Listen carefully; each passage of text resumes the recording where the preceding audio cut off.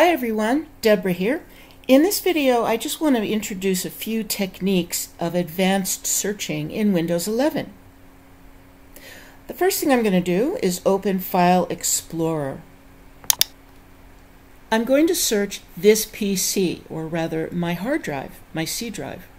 So what I want to do is find, let's say I want to find specific files that are uh, picture files, for example, images. What I want to do is look for files that have specific file types in their names. Okay, that's after the dot. So uh, you would put, let's say I want to look for um, JPEG files. Okay, I'm going to type a dot, and then I'm going to type JPG and uh, I can press enter, but I don't have to. It's already automatically looking for any and all files that are JPEG files, dot .jpg. And it doesn't matter what the name is. I don't, I'm not specifying any particular type of name in front of the dot.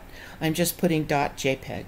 Okay, at this point, uh, it found a number of JPEG files, and I can just look through these, click on them if I want to, and open them and see what they are. But um, let's try something else. I'm going to go back up here to the search area and just put, mm, let's see, let's say I want to look for any and all files that have CSIT 149 Windows in the name. Now, depending on how many files I might have with that in the name, it could take just a few moments or it could take quite a while for Windows to display the list. Okay, this is the list that it came up with, so this is what I have on my computer that has CSIT 149 Windows in the name.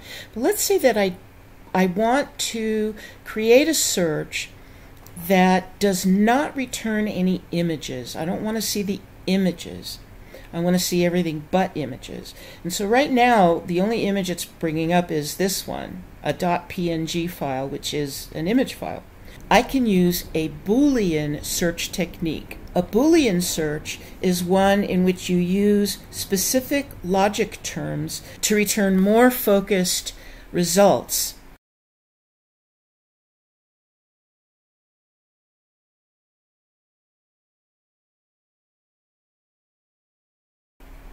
So what I'm going to do here up here is put this. After the term that I put first, CSIT 149 Windows, I'm putting, I put the Boolean term not, and then I put what I don't want, so which is a .png. And if you look at my list, the PNG file is no longer there. Now let's say that I want to save this search because it's something that I want to use again in the future and probably many times. So I don't want to have to create recreate it every time I want to use this search. So I point my mouse anywhere in the blank part of the results screen. I right click with my mouse and I go down here and I choose save search.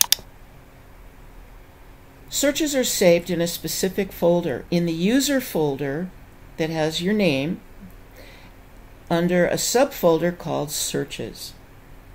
Now, right now, it, it's coming up with the default name, and uh, that's fine. I like the name that it is, so I'm going to leave it at that, and then I'm going to click Save.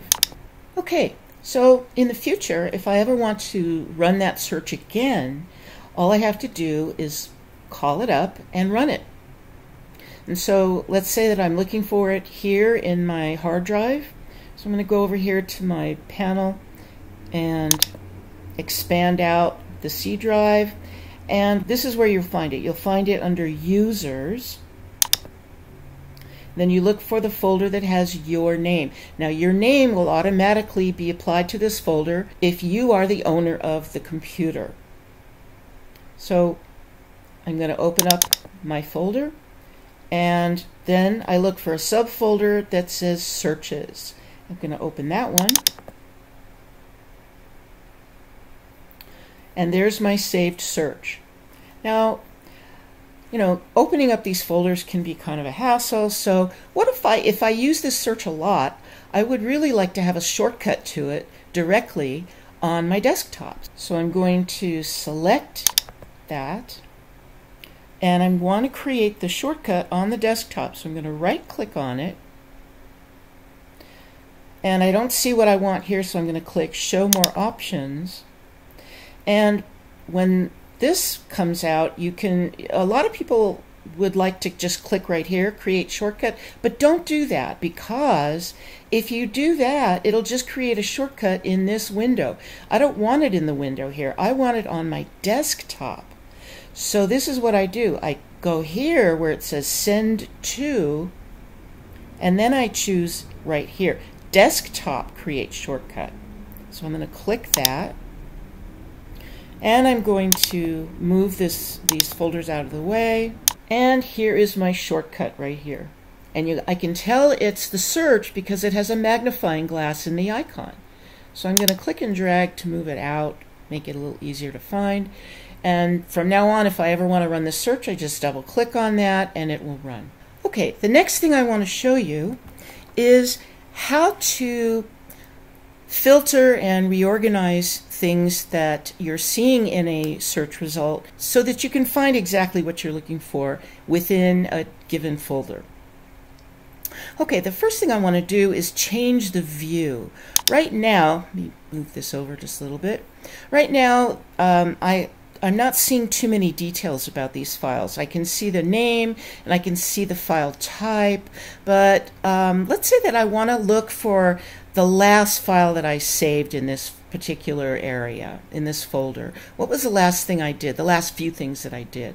So um, the first thing I want to do is change the view. So I'm going to go up here and change the view to details. Okay, good. Now I can have, I can see the name, the date it was last modified, the type of uh, file or folder that it is, and the size of the folder. And you know what? You can change the um, width of these columns. Let's say that you, you know, I want to see more than what's being shown. So I can place my mouse right here in between the lines, so it's a double-headed pointing arrow, and click and drag over to the right to widen and then let go, to widen out this particular column so I can see everything. And you can do that with any of the columns, okay? Now, now let's say I want to look for things that are that I've saved or worked with uh, more recently. So when I click Date Modified, it should show me then the most recent thing that I created and saved and if I scroll down, keep going down, it's showing me things in reverse order, going back to older or earlier items that I saved. Now, another thing I can do is reorganize this list based on what type of file. Let's say that I want to see all of the uh, PDF files all together. So I'm going to just click type and it'll organize everything uh, in clusters. So, for example, all of my MP4 files are here in one grouping, and if I keep going down further, there's more and more of them. So I can find pretty much whatever I'm looking for as long as I know that what I'm looking for is there. I can also go by size. Now, another thing you can do, which is kind of cool, is to go over here to the sorting feature click that and you know make your choices of how you want to sort things by name or date or whatever. And then you can go down here and choose how to group the results. Do you want to see all the names grouped together all the types grouped together? How do you want to do that? The rating if there is such a thing date taken um, date modified. So let's say I go by size. The biggest ones are going to be at the top the smaller ones are going to be at the bottom. And again, I can just click right here, up here where it says size, to reverse order and put the smaller ones at the top. And so that's pretty much all I wanted to bring to your attention right now. Please go on and have some fun with this unit.